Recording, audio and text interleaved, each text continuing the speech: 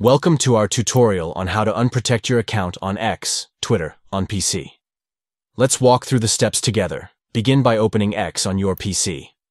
Click on the small circular profile picture icon located in the top right corner of the screen. Select Settings and Privacy from the options presented. From the menu on the left side, navigate to Privacy and Safety. Locate the checkbox labeled Protect My Tweets and ensure it is unchecked to remove the protection from your tweets. Scroll down to the bottom of the page and click on Save Changes to confirm the modification. To finalize the process, input your password and click on Save Changes once more. By following these steps, you can successfully unprotect your account on X, Twitter, and allow your tweets to be visible to a wider audience. Thank you for tuning in.